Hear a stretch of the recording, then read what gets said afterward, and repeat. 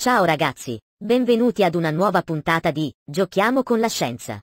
Oggi parleremo di astronomia, ed in particolare impareremo a leggere il cielo. Di notte, quando si vedono le stelle, il cielo diventa un grande libro illustrato. Basta guardare in alto per vedere un cavallo, un cigno, un leone, un'aquila o uno dei personaggi mitologici come Perseo, Cassiopea o Orione. Tutte queste figure sono fatte di stelle, e trovarle è un gioco meraviglioso. Per poter fare questo ci aiuteremo con una mappa stellare oppure utilizzando un astrolabio. Proprio come quello che potrete scaricare dal link che trovate nella descrizione. In questa mappa sono presenti tutte le costellazioni che sono visibili nel nostro emisfero, ovvero l'emisfero boreale.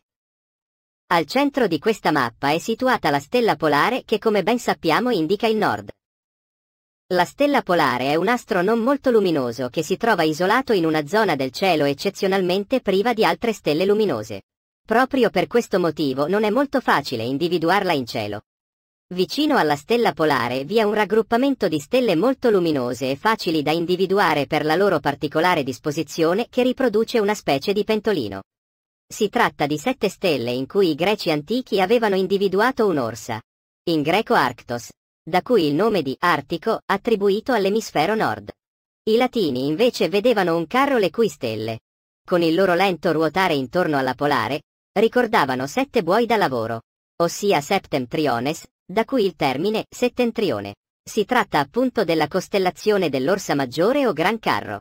Questa costellazione è un ottimo punto di partenza per rintracciare molte altre stelle grazie a pochi e semplici allineamenti. Se uniamo con una linea immaginaria le due stelle del bordo del pentolino e prolunghiamo di quattro volte e mezza la distanza che intercorre fra questi due astri si raggiunge proprio la stella polare. Quest'ultima rappresenta il timone di una costellazione simile al Gran Carro ma di dimensioni più ridotte e formata anch'essa da sette stelle molto meno luminose di quelle della costellazione maggiore. Quasi opposto all'Orsa Maggiore rispetto alla Polare si trova un raggruppamento di 5 stelle dalla caratteristica forma a W o M chiamata Cassiopea. Cassiopea è una costellazione molto evidente ma che non offre punti di riferimento per altre stelle. Partendo sempre dal Gran Carro è facile invece individuare altre costellazioni e stelle molto luminose. Prolungando il bordo superiore del pentolino e proseguendo nella direzione opposta a quella del manico si incontra Capella, la capretta, la stella più luminosa della costellazione dell'Auriga. Dirigendosi invece dalla parte opposta a quella in cui si trova la stella polare si arriva a Regolo, dal latino Regulus, Reuccio, nella costellazione del Leone. Seguendo poi la diagonale del nostro recipiente, sempre nella direzione opposta a quella del manico, si arriva a due stelle molto brillanti, Castore e Polluce, che formano la costellazione dei gemelli. Una linea curva che prolunghi le tre stelle del manico porta invece ad Arturo, la stella più brillante della costellazione di Bote o Bifolco. Proseguendo nella stessa direzione verso il basso, proprio vicino all'orizzonte, si raggiunge Spica nella Vergine. Infine, alte nel cielo estivo, appaiono tre stelle molto luminose che formano un grande triangolo. Sono Vega, in piena estate proprio sopra la nostra testa, nella costellazione della Lira. Deneb, in quella del Cigno con la sua caratteristica forma a croce. E Altair nell'Aquila. Esse formano il cosiddetto triangolo estivo, che balza subito all'occhio se nella bella stagione si guarda in alto e verso sud. L'altra costellazione che serve per individuare stelle e costellazioni però solo nel cielo invernale è Orione. Orione è una costellazione molto grande, dalla forma complessiva a clessidra, impossibile da non vedere rivolgendo, nelle notti invernali, lo sguardo a metà del cielo verso sud.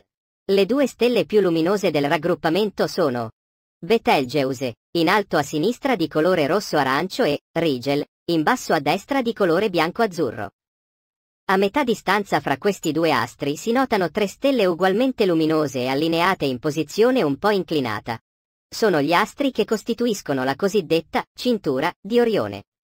Prolungando la linea che unisce le tre stelle della cintura si giunge verso il basso Assirio, la stella più luminosa del cielo sita nella costellazione del cane maggiore.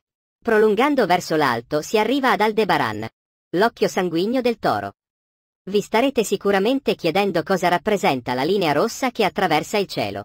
Questa linea immaginaria è l'eclittica, ovvero il percorso apparente che il Sole e tutti i pianeti compiono in un anno rispetto allo sfondo della sfera celeste. Questa fascia racchiude tutti i 12 segni zodiacali.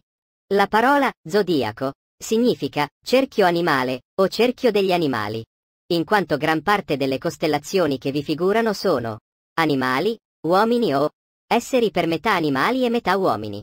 Bene, per il momento è tutto e vi do appuntamento ad una prossima puntata di Giochiamo con la scienza. Se non lo avete ancora fatto mettete un bel mi piace, iscrivetevi al canale e cliccate sulla campanellina per essere avvisati dell'uscita dei nuovi video.